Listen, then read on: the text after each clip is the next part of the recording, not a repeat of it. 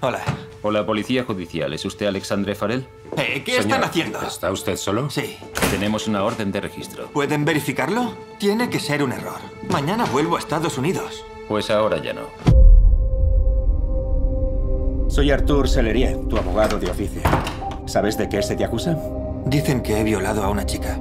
¿Reconoce los hechos de los que se le acusa? No. Fue consentido. Mi hija ha denunciado a tu hijo por violación. Eso es imposible. No tiene sentido. Hay una investigación en curso. Está usted bajo vigilancia judicial. Podría acabar en la cárcel. Nuestro hijo seguro que está loca. ¿Y si la violó de verdad? ¿Te das cuenta de lo que estás diciendo? Un hombre puede mentir por miedo porque la realidad de sus actos le es insoportable. Yo no he hecho nada. ¿Le seguiste de forma voluntaria? Me dijo que tenía un cuchillo. ¿Te amenazó con el cuchillo? Es solo una pregunta, señorita.